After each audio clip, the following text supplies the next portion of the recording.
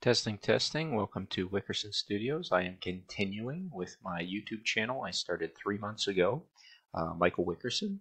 I please invite you to go on in and take a look at some of the playlists and subscribe. I started very simple for you know my children at a very young age, uh, learning from Tinkercad to go to Tinker Coding and then get into Grasshopper Rhino and imagine all the things possible. I did a series of Grasshopper for Rhino ABCs 1, 2, 3, which tried to cover every single node to get it up and running for you. I pair all files on GitHub at mwickerson, and those are free and available for you to take. Then I began what I you know wanted to do, and I'm still doing uh, 1001 scripts. And I'm at 181 scripts here. Uh, there are many more GH files on my GitHub that have many versions of each of those scripts, and they're all available for you to take and pair with the videos and see what you can do. I'm doing my first development with AR uh, Jewelers, and I've been asked to focus on the math and the programming side of that thing. So I am beginning a new series quite simply um, from my Facebook site. I find that defining myself as a computational design developer in Grasshopper for Rhino 3D seems to fit what I'm doing. I have a mathematical history, but I have 30 years of making art, and now I'm applying those skills at a mathematical level to uh, designing.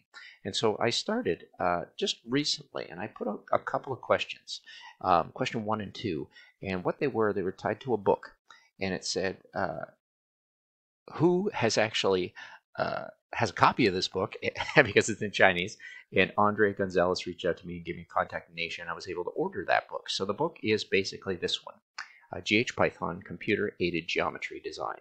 And what I've done is I made a website with the nice logo that's attracted everybody to look at it at least. We've garnered in 24 hours 70 key members, which are amazing individuals. It's still public to join for another 24 hours, and then you can join privately. And we are going to look at this book, take the scripts that we can read uh, because they're an English script in Python, and we're going to slowly try and translate the content of the books uh, in a sense of not so much translating, but let's apply the uh, scripts within there to video tutorials, which I will do in the same uh, way as I do these videos. Um, so there'll be a grasshopper window, a rhino window up, and then basically you'll see the application of those scripts. I'm not going to copy them. I'm going to make them extremely creative. I'm going to take them into other forms and other models. And I've ordered the book. It should be here in the week. Others on here have actually asked me, and we've become a pretty good resource site for those interested in Rhino. Um, I am recommending people take uh, Jeremy Graham's LinkedIn class, which costs a little bit of money, get through his Grasshopper and Rhino Python scripting because he is using Rhino.geometry, is using Rhino Common in that. And I am currently taking a class at Michigan um, uh, University, which is uh, Design Computa- uh, Computing, 3D uh, Modeling a rhinoceros, rhinoceros with Python RhinoScript. And that's not Grasshopper based, but I feel getting through that, I'm going to try and hammer through that five week course in a, couple of weeks. And given the fact that I'm uh, also returning to KCAI Art Institute as a chair and trying to get everything up and running, uh, this is going to be a challenge for me. So I've made co members, in a sense, uh, of administrators on this website. I know some people are stepping in. It's extremely international. We're going to have multi languages, multi people. Um, we just got another member in the time I made this video, so that's exciting. Um, and it's a very serious site. What I notice with what I'm doing, and I'm, I'm older, I'm 48, uh, I'm coming to this late in life. I didn't start scripting or coding uh, or even looking at Rhino until about two years ago, but I've learned an awful lot very quickly. And I can say with all of my videos, there are almost I think zero dislikes, not asking for to dislike these videos, but because they're very fast and they're informational, um, uh, like this one, and I'm not going to go into it, but basically this, try to hit pause on that. Um, basically, you can see it's a LinkedIn learning example of what I was learning from Graham and applying that into Python scripts. So you have the everything done for you here, and I try and explain how we're, we're uh, generating points from a, a structure, raising them up, uh, and then getting into the data tree structures to access as we move into those. So I, I was getting to a point in Grasshopper that I found relative items, uh, uh, all path mapper tools, um, uh, everything in the in the tree uh, or sets file. I think it sets trees. What am I thinking about? Um, what was necessary for me to start to comprehend and program. And I found I was doing more and more text programming as to uh, offsets and things like that, that Python seemed super appropriate. And I've been learning in rotation Rhino Grasshopper Python, Rhino Grasshopper Python with a bit of Houdini once in a while, a bit of C Sharp once in a while. But my main stable is Rhino Grasshopper Python, Rhino Grasshopper Python.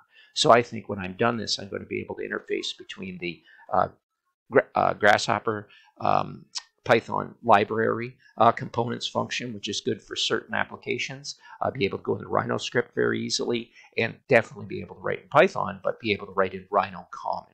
And that's what this whole site is about. And uh, even if I have to translate this book and some of the text uh, from Rhino script into Rhino Common, that's fine. But I want to put a plug out again for uh, Jeremy Graham's class, and it would be a good thing for everyone to kind of in this group to kind of hedge that way and try and get a certificate of completion, at least watching those five hours of videos and realize how geometries and the things you want to make uh, are solids. Uh, if I use this pop can, um, we're thinking about it as a solid.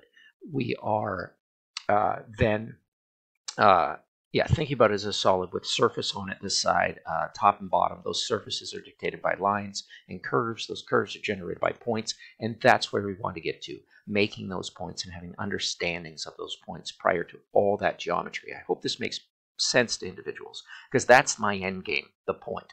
Uh, prior to that, we have attributes XYZ to that. We have driving those attributes uh, ranges. We have ranges that can be manipulated in any way possible. It's coming through domains. The domains are numbers. Numbers are generated from files like Excel documents, and the Excel documents are driven by personal information, uh, meaningful uh, things in your life. So the idea of taking uh, data or important dates uh, for somebody, uh, putting that into an Excel file and generating that all the way through, uh, say, something like Firefly and Grasshopper, people will literally be singing their rings. Uh, uh, in a sense, they could then take that data, they could record it in, they could do audio, they could do visual. How does that data drive the final form? And of course, that's going to come through approaching the numbers from far to what I call the left end of the script, and then end up going all the way to the right end with very um, many iterations that can happen. So you've got the parametric, the computational, the generative, and the possibility of entering into machine learning, uh, artificial intelligence, and all those wonderful things, optimization, uh, augmented reality. Uh, it's, it's, it's, it has no beginning and it has no end, but I'm chasing back the beginning the same way I used to chase back uh, philosophers of the past. What I like about this forum is I can talk to people living here and now internationally in many different languages. And uh, Ella's uh, ready to get going for the day, and I'll try and do this all the while with three kids in the room and my lovely wife helping me uh, organize things. Thanks very much.